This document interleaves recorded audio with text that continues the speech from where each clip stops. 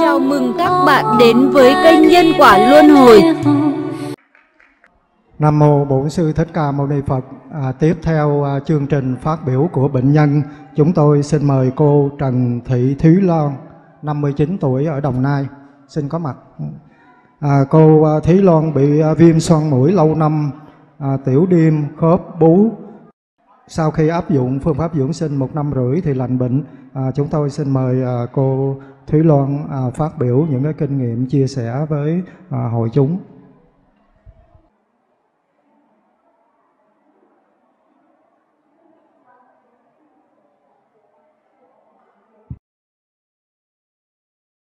Nam mô Bổn sư Thích Ca Mâu Ni Phật. Kính bạch thầy trụ trì chùa Long Hương. Kính bạch quý chư tôn đức tăng ni. Kính thưa quý Phật tử hiện diện. Hôm nay là ngày dỗ của tiên sinh Osawa.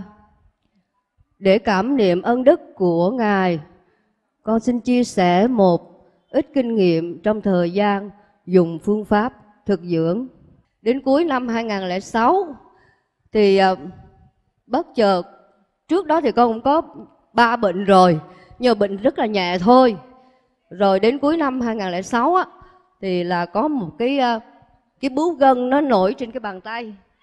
Trên cái bàn tay và con đến ờ, bệnh viện ờ, Hòa Hảo, trung tâm Hòa Hảo để chẩn đoán thì bác sĩ ở đây nói rằng là con bị bướu gân lành tính và đề nghị là cắt cái bướu đó đi thì khi lên ờ, lầu 2 để vào phòng tiểu phẫu thì con mới hỏi bác sĩ là, nếu cái bướu gân này mà cắt đi á, thì có khả năng mọc lại hay không?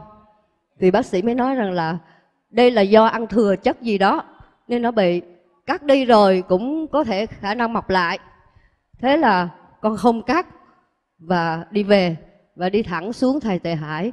Vì trước đó là con đã nghe đĩa của thầy rất là nhiều rồi đã nghe đĩa của thầy rất là nhiều và nhất là xem cái đĩa dỗ ngài tiên sinh Osawa. Rồi, và rất ấn tượng về chị Thanh Lai, cho nên là con đi thẳng xuống thầy Thầy Hải. Thì trong đó là con khai với thầy là con có bốn bệnh. Bệnh thứ nhất là thấp khớp, đau hết xương khớp. Bệnh thứ hai là viêm xoang dị ứng thời tiết. Mà bệnh này là kinh niên từ năm 18 tuổi cho đến năm 50 tuổi, không hết. Uống thuốc tây không hết và một bệnh nữa là đi tiểu đêm. Và bệnh thứ tư nữa là cái trên mu bàn tay có một cái bướu gân. Thì sau 3 tháng ăn phương pháp số 7 A Di Đà Phật ăn 3, 3 tháng phương pháp số 7 thì à, cái ba cái bệnh ba cái bệnh đều hết. Đó là bệnh tiểu đêm viêm xoang dị ứng viêm xoang mũi đó là mấy chục năm rồi đó. Rồi cái bệnh à, là đau khớp là hết là hết cái bệnh khớp.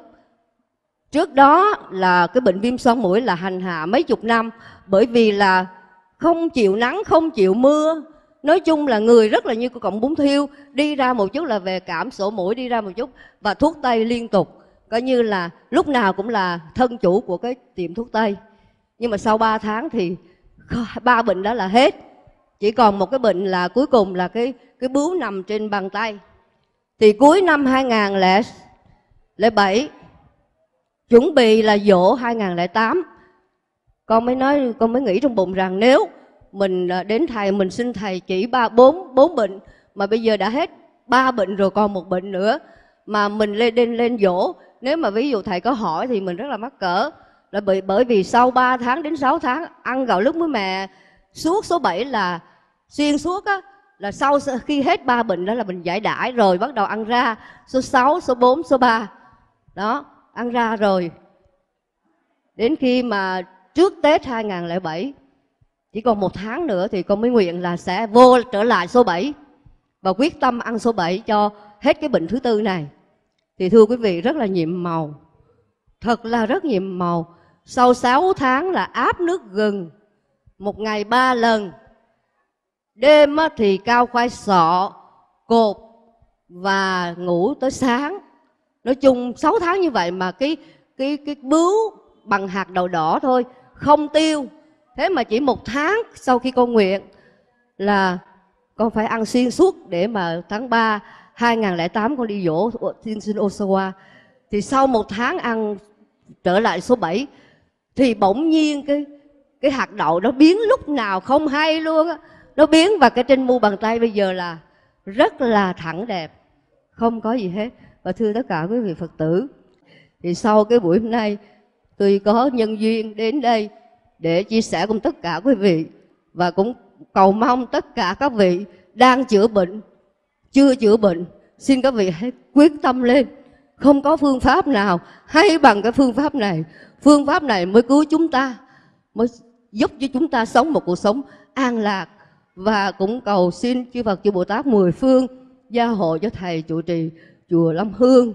Cùng tất cả quý vị, chư tôn đức tăng ni, pháp thể khinh an, tuệ đăng sự thường chiếu và luôn luôn là bóng cây đại thọ cho tất cả hàng Phật tử chúng con, nương tựa, tu học và chữa bệnh. Nam mô bổn sư thích ca mâu ni phật.